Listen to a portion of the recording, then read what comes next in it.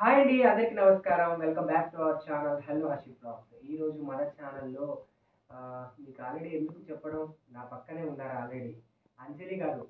మన ఛానల్లో చాలా సార్లు అంజలి గారి లైఫ్ స్టైలు వాళ్ళ బ్యాక్గ్రౌండ్ ఏంటి ప్రతిదీ కూడా కళ్ళకు కట్టినట్టు చెప్పేశాను ఆల్రెడీ ఇప్పుడు అంజలి గారి దగ్గరికి సడన్గా నార్మల్గా రావడం జరిగింది. ఎలా ఉన్నారు? అసలు ఏంటి? అని తెలుసుకుందామని వచ్చాను. మరి అంజలి గారు ఎలా ఉన్నారో ఒకసారి మాట్లాడేద్దాం. హాయ్ అంజలి గారు. హాయ్ అజిత్ గారు. ఎలా ఉన్నారు? హ్యాపీగా ఉన్నాను హ్యాపీగా ఉన్నారు. చూస్తుంటేనే అర్థమవుతుంది మీరు హ్యాపీగా ఉన్నారని. ఈ మధ్య కొంచెం గ్లామర్ పెరిగింది నాకు తెలిసి. గ్లామర్ పెరగడం అంటే ఏముండదు ఆ. రొటీనే బయటకు వెళ్ళి రావడము ఆ, ఏమైనా బుక్ చేసుకుని తినడము రిలాక్స్ అవ్వడము ఓకే. అట్లా ఏమైనా అనిపించడం వల్ల మీకు ఏమో మరి నా కళ్ళకైతే చాలా గ్లామర్గా కనిపిస్తున్నారు లేకపోతే శారీ ప్రభావము. ఇది నార్మల్ ఎందుకంటే నాకు నార్మల్ శారీస్ అంటే ఇష్టము. హెవీగా నేను ఎప్పుడు రెడీ అవ్వను. సింపుల్గా ఉంటాను నేను. ఓకే. నార్మల్ ఉంటేనే చాలా బాగుంటారు. ఎందుకంటే మర్చిపోయాను. మీరు సౌందర్య గారి ఫ్యాన్ అంట అబ్బా, మీరు సౌందర్య అంటే నిజంగా నాకు చాలా ఇష్టం. ఓకే. సౌందర్య గారు నాకు సిస్టర్ లాంటి వారు చక్కగా నేను. ఆవిడ నేను ఒక సిస్టర్గా భావిస్తాను. ఓకే. చాలా ఇష్టం ఆమె ఆమె. చేసే సినిమాలు కానీ. ఆమె చేసే యాక్టింగ్ కానీ ఎంత చూడాలనిపిస్తుంది మళ్ళా. ఎవరు ఇష్టపడుతుందో కూడా చూడాలనిపిస్తుంది. అంత అంటే మంచిగా చేస్తారు ఆమె. మంచి మహానటి. నిజంగా చెప్పాలంటే ఆమె. అవును. ఆమె ఇప్పుడు లేనది నేను చాలా ఫీల్ అవుతున్నాను మీరేంటండి? ప్రతి ఒక్కరు feel అవుతారు. ఎందుకంటే ఫ్యాన్స్ అందరూ కూడా ఫీల్ అవుతారు. అవును. కానీ నేను మాత్రం బాగా ఎక్కువ తలుచుకుంటాను. ఎందుకంటే నేను ఇన్స్టాగ్రామ్లో కానీ యూట్యూబ్లో కానీ ఎప్పుడైనా ఆవిడ సినిమాలు కానీ మనకి కంటపడుతుంటాయి కదా అవి చూసినప్పుడు నేను చాలా ఫీల్ అవుతుంటాను నిజంగా. మీరు ఫీల్ అవుతున్నారు. ఆ నేను కూడా ఫీల్ అవుతున్నాను. ఇంకా చెప్పాలి అంటే ఇప్పుడు వచ్చే జనరేషన్ యాక్టింగ్ నేర్చుకునే వాళ్ళు యాక్టింగ్ చేసే వాళ్ళకి ఏంటంటే ఆమె ఈ తరంలో కూడా ఉన్నట్టయితే కనుక వాళ్ళు కూడా ఆమె దగ్గర ఇంకా చాలా నేర్చుకోవచ్చు. ఎందుకంటే ఆమె వీడియోలు చూసి కూడా చాలా మంది నేర్చుకునే వాళ్ళు ఉన్నారు. ఇప్పుడు ఉంటే కనుక ఇంకా అసలు వెనక్కి తిరగకుండానే చాలా మూవీస్లో బిజీగా ఉండేది. అప్పట్లోనే చాలా బిజీ ఉండేది సౌందర్య గారు. ఇప్పుడు ఇంకా బిజీ ఉండేది ఇన్స్టాగ్రామ్లో మీరు ప్రతి వీడియో ఆల్మోస్ట్ సౌందర్య గారి సాంగ్స్ చేస్తూ ఉంటారు. నాకు సౌందర్య గారి డైలాగులు అన్నా సాంగ్స్ అన్నా. ఆమె కొంచెం ఏడ్- ఏడ్చినట్టు చేస్తుంటారు. అది నాకు చాలా ఇష్టం అన్నమాట. చాలా ఇష్టం. నాకు ఆమె ఆమె రీల్స్ వచ్చాయంటే ఖచ్చితంగా నేను లైక్ కొడతా. ఓకే. ఖచ్చితంగా నేను ఏ మూవీ ఇష్టం మీకు బాగా? సౌందర్య గారి మూవీ ఇష్టం? సౌందర్య గారి మూవీ అంటే నాకు చాలా ఇష్టమైన సినిమా.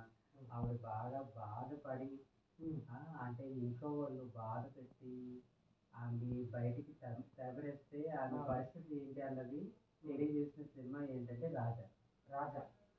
నాకు రాజా సినిమా. రాజా సినిమా. సౌందర్య గారు వెంకటేష్ గారు వీళ్ళందరూ చేసిన సినిమా రాజా అనమాట.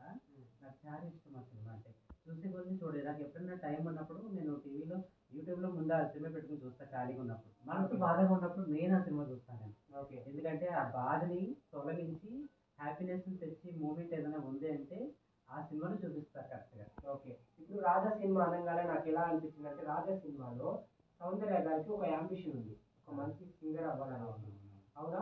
అలాగా మీకు కూడా ఏదైనా అంబిషన్స్ ఉన్నాయంట? నాకు యాక్టింగ్ అంటే నాకు చాలా ఇష్టము. కానీ నేను మాకు ఆ అవకాశం రాదు. ఎందుకంటే ఒకవేళ వచ్చినా చెప్పలేము. ఎప్పుడు వస్తుంది దానికోసం మనం వెయిటింగ్ చేయలేము. ఓకే. నాకు అంత టైం వేస్ట్ చేసుకోవడం కూడా ఇష్టం లేదు కాబట్టి నేను ఏం చేద్దాం అనుకుంటున్నాను అంటే నాకు ఒక గోల్ ఉంది. ఓకే. చాలా మంది అనాథులు బయట ఉంటున్నారు. అవును. చాలా మంది కూడా హెల్పింగ్ చేసి చేస్తున్నారు అందరికీ. భోజనం పెట్టడము బట్టలు ఇవ్వడము ఇట్లాంటివన్నీ చేస్తున్నారు. కానీ నేను ఎందుకు చేయకూడదు అని అనిపించింది. అందరూ చేస్తున్నారు నేను ఎందుకు చేయకూడదు? నేను బయటికి వెళ్ళినప్పుడు నాకు ఒక హండ్రెడ్ రూపీస్ వచ్చింది అనుకో ఒక పాతిక రూపాయలైనా వాళ్ళ కోసం మనం హెల్ప్ చేయాలి. చేయాలి అనిపిస్తుంది నాకు. నేను అదే అనుకుంటున్నాను అసలు నేను లాస్ట్ మంత్ కూడా యూట్యూబ్ ఛానల్ స్టార్ట్ చేద్దాం అనుకున్నాను. అంటే కెమెరా కూడా తెలియకుండా నేను చేశాను ఉమ్. ఇప్పుడు యూట్యూబ్ ఛానల్ స్టార్ట్ చేసిన తర్వాత ఇంకా అన్ని వీడియో వీడియో ద్వారా నేను అప్లోడ్ చేస్తాను. మీరు కెమెరాకి తెలియకుండా చేశారంటున్నారు. తెలిసేటట్టు చేస్తేనే నలుగురు మిమ్మల్ని చూసి ఇంకా ఇన్స్పిరేషన్గా రావచ్చు. తెలిసేటట్టు చేద్దాం అనుకున్నాను. అంటే స్టార్ట్ చేద్దాంలే అన్నట్టుగా అనుకుని ఇంకా లేట్ అయితే చేయొద్దు. ఎందుకంటే ఒక మంచి కార్యానికి ఒక అడుగు ముందే ఉండాలంటారు కదా. అలాగే మీరు ఆ విషయంలో అయితే మీరు అసలు లేట్ చేయకుండా. తొందరగా స్టార్ట్ చేస్తే చాలా నేను స్టార్ట్ చేసేస్తా. చాలా మెయిన్ ఏంటంటే అనాథ శరణాలకి వెళ్ళడము అనాథ పిల్లలకి భోజనాలు పెట్టించడము బయట గుడి దగ్గర గట్రా ఉన్న వాళ్ళకి శారీస్ ఇవ్వడము లేకపోతే రోడ్ల మీద పడుకున్న వాళ్ళకి బెడ్ బెడ్షీట్ ఇవ్వడము ఎక్కడన్నా హాస్పిటల్ దగ్గర జనాలు వైద్యం కోసం వచ్చిన వాళ్ళు చాలా మంది ఉంటారు కదా అలాంటి వాళ్ళకి కొంచెం ఫుడ్ ఫుడ్ సప్లై చేయడము. ఇట్లాంటి అంటే ఎవ్రీ మంత్ కలిసి టూ టైమ్స్ అన్న నేను అట్లాంటివి చేద్దామని అనుకుంటున్నాను. ఎందుకంటే స్టార్టింగ్ కాబట్టి కొంచెం కొంచెంగా చేద్దామని అనుకుంటున్నాను. Okay super. మీ ఆలోచన అయితే చాలా బాగుంది. ఇప్పుడు మనం ఇప్పుడు ఈ సీజన్లో చూసుకుంటే బిగ్ బాస్ అనేది జరుగుతుంది. ఈ బిగ్ బాస్లో ఈ సీజన్లో ట్రాన్స్జెండర్స్ని తీసుకోలేదు దానికి మీరు ఏమనుకుంటారు అంటే ఒకవేళ తీసుకునేది పక్కన పెడితే మీకేమైనా ఆలోచనలు ఉన్నాయి? ఒక బిగ్ బాస్లోకి వెళ్ళి నేను కూడా ఒక రోల్ మోడల్గా ట్రాన్స్జెండర్స్కి నిలిచి కప్పు తీసుకొని రావాలనే ఆలోచన అయితే మీకు ఏమైనా ఉందా? బిగ్ బాస్లోకి వెళ్ళాలంటే దానికి చాలా అదృష్టం అనేది ఉండాలి. అవును ఖచ్చితంగా అదృష్టం అనేది ఉండాలి. ప్రాసెస్ అనేది చాలా మంది చేస్తున్నారు. చాలా మంది సినీ ఫీల్డ్ ఉన్న వాళ్ళు ఉన్నారు సీరియల్ యాక్ట్ చేసే వాళ్ళు ఉన్నారు. కానీ కొంతమంది బయట వాళ్ళు కూడా ఈ ఈ సీజన్లో వెళ్ళారు. మాలాంటి వాళ్ళు ఈ సీజన్లో తీసుకోలేదు. మా ట్రాన్స్జెండర్స్ ఎవరు తీసుకోలేదు. ఒకవేళ తీసుకుంటారో లేదో కూడా తెలియదు స్టార్ట్ ఇప్పుడు కూడా లాస్ట్ సీజన్లో చూసుకున్నా కానీ స్టార్టింగే తీసుకున్నారు. అయితే ఈ సీజన్లో ఎందుకు తీసుకోలేదు అనేది నాకైతే అర్థం కాలేదు. దానికోసం నేను కొంచెం ఫీల్ అవుతున్నాను. ఎందుకంటే బిగ్ బాస్లో నాగార్జున గారు బాగా ఆయన చేస్తుంటారు ఆయన. అయితే ట్రాన్స్జెండర్స్ని కూడా తీసుకోవాలి. తీసుకోవాలి. ఎందుకంటే. ఎవ్రీ సీజన్కి ఒక ట్రాన్స్జెండర్ వస్తున్నారు. ఈ- సీజన్కి ట్రాన్స్జెండర్ రాలేదు మరి ఎందుకు రాలేదన్నది అది తెలిస్తే కొంచెం బాగుంది బాగుంటుంది కానీ తెలియలేదు అది సస్పెన్స్లో ఉంది ఓకే లాస్ట్ సీజన్ తీసుకుంటే ప్రియాంక సింగ్ గారు ఎలా Hmm. ఆడారు అనుకుంటున్నారు మీరు ఆ, మా ప్రియాంక బాగా ఆడింది ఓకే ఆ, చాలా బాగా ఆడింది మా ప్రియాంక Hmm. ఎందుకంటే ఆమె ఆట చూసి నాకే చాలా హ్యాపీనెస్ అనిపించింది ఓకే ఆ, నిజంగా ఆ, మా ట్రాన్స్జెండర్ కూడా చాలా హ్యాపీగా ఫీల్ అయ్యాం. అంటే మా ట్రాన్స్జెండర్ బిగ్ బాస్లోకి వెళ్ళిందంటే మాకు హండ్రెడ్ పర్సెంట్ కాదు. ఇంకా ఎక్కువే మాకు హ్యాపీనెస్. ఓకే. కానీ లాస్ట్ వరకు ఉంటే బాగుంది అనిపించింది. ఆ కప్ తీసుకొచ్చేస్తే మా కూడా మాకు కూడా మా ట్రాన్స్జెండర్ కూడా కప్ తీసుకొచ్చింది అన్న ఫీలింగ్ ఉండేది. ఏంటంటే లాస్ట్ వచ్చేసరికి ఇంకా అది మిస్ అయిపోయింది. కానీ లాస్ట్ వరకు ఉండేది కొన్ని కొన్ని బయట పుకార్లు ఎలా ఉన్నాయంటే తను ఆట ఆడుతుంది కానీ కొన్ని లవ్ ట్రాక్స్ వల్ల లేకపోతే ఒకరిని లవ్ చేయడం వల్ల అలా ఏమన్నా ఆడలేకపోయిందా? లవ్ చేయడం అని అనుకుంటారు. ఇప్పుడు సపోజ్ ఇప్పుడు బయట ఎవరైనా ఒక లేడీ గాని ఒక అబ్బాయి గాని మాట్లాడుకుంటే ఇక చూసి జనాలు అట్లనే అనుకుంటారని అనుకున్నా నేనైతే. ఇప్పుడు ఫ్రెండ్లీగా మాట్లాడుకున్న వాళ్ళు చాలా మంది ఉంటారు అదే బిగ్ బాస్లో చాలా మంది ఫ్రెండ్లీగా మాట్లాడుకుంటారు. అది మాత్రానికి లవ్ అనుకుంటే ఎట్లా? కరెక్ట్ కాదు. కదా ఓకే. బాగా చెప్పేశారు. ఒక ఒక ఐదుతో అయితే సరే ఇప్పుడు ఇక్కడ దాకా అయితే ఓకే. లా వచ్చే సీజన్లో మీరు వెళ్ళాలనే ఆలోచన ఏమైనా చేస్తున్నారంటారా నాకు వెళ్ళాలనే ఆలోచన ఉన్నా కానీ. అదృష్టం ఉండాలని ఇందాక చెప్పాను నాకు నా మీద దేవుడి ఏమైనా ఉంటే కనుక ఖచ్చితంగా వెళ్తానేమో ఖచ్చితంగా మీరు వెళ్తారు మీరు ఇప్పుడు ఆల్రెడీ యూట్యూబ్ ఛానల్ స్టార్ట్ చేసి. సోషల్ సర్వీస్ చేయాలనుకుంటున్నారు. అంత మంచి పని చేసినాక మీకంటూ ఒక స్టార్డమ్ అనేది. వస్తుంది. వచ్చిన తర్వాత ఖచ్చితంగా మీరు నెక్స్ట్ సీజన్కి బిగ్ బాస్లో ఉంటారని నేను అనుకుంటున్నాను అలా అవ్వాలని కూడా ఈ వీడియో ముందుకు వెళ్ళి అవ్వాలని నేను కోరుకుంటున్నాను. Thank you okay. అయితే ఇప్పుడు దాకైతే మీ జర్నీ అంతా మేము ఆ, ఇప్పుడు మీ ఇంటికి వచ్చాము లాస్ట్ లాస్ట్ టైం వచ్చినప్పుడు ఇల్లు చూస్తే నార్మల్గా ఉండేది ఇప్పుడు మంచిగా అప్పుడు కూడా బాగుండేది ఇప్పుడు ఇంకొంచెం బాగా చేస్తున్నారు. ఎందుకంటారు యూట్యూబ్ గురించి అంటారా? యూట్యూబ్ గురించి అని కాదు.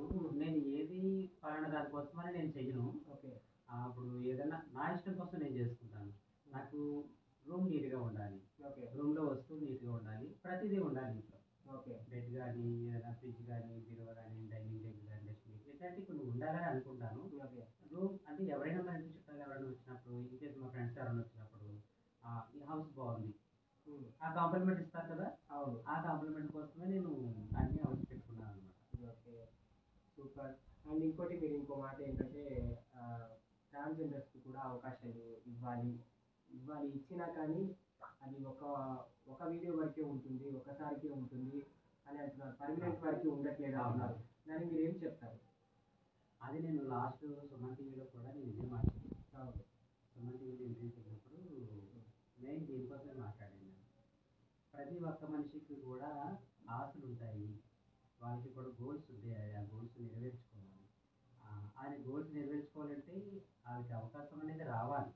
ఆ అవకాశం అనేది రావాలంటే ఇంకేది ఎవరైనా ఇవ్వాలి. ఇప్పుడు ఆడవాళ్ళకి ఇస్తారు మగవాళ్ళకి ఇస్తారు రాజంటికి కూడా ఇస్తారు. Half an hour one hour మాత్రమే. అంతే అయిపోయింది ఇంకా. మళ్ళీ వాళ్ళ ప్రస్తావనే ఉంటుంది ఇంకా. అది కాకుండా ట్రాన్జెండర్స్లో కూడా మంచి యాక్టర్స్ ఉన్నారు. ట్రాన్జెండర్స్లో కూడా మంచి డాన్సర్స్ ఉన్నారు. ట్రాన్జెండర్స్లో కూడా మంచి కామెడియన్స్ ఉన్నారు. ట్రాన్జెండర్స్లో కూడా మంచి ఫ్యామిలీగా యాక్టింగ్ చేసే వాళ్ళు కూడా ఉన్నారు. ఇవన్నీ గుర్తించి మా ట్రాన్జెండర్స్కి కూడా అవకాశాలు రావాలి.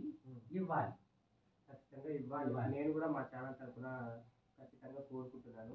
ట్రాన్స్జెండర్స్కి కూడా ఇచ్చే అవకాశం ఏంటంటే కొన్ని రోజులు ఉండేటట్టు ఇలా వచ్చేసి అలా వెళ్ళకుండా కంటిన్యూగా ఉండేటట్టు నేను మీరు చెప్పిన మాటల ప్రకారంగా వింటే ఏంటంటే జస్ట్ గెస్ట్ లాగా వచ్చి అట్లా వెళ్ళేది కాకుండా కొన్ని రోజులు సాఫీగా ఇప్పుడు ఎలా అయితే నార్మల్ క్యారెక్టర్ చేసే వాళ్ళు ఎలా నార్మల్ చేసే వాళ్ళకి ఎలా ఇస్తున్నారో అలా ఇవ్వాలని కోరుకుంటున్నాను నేను.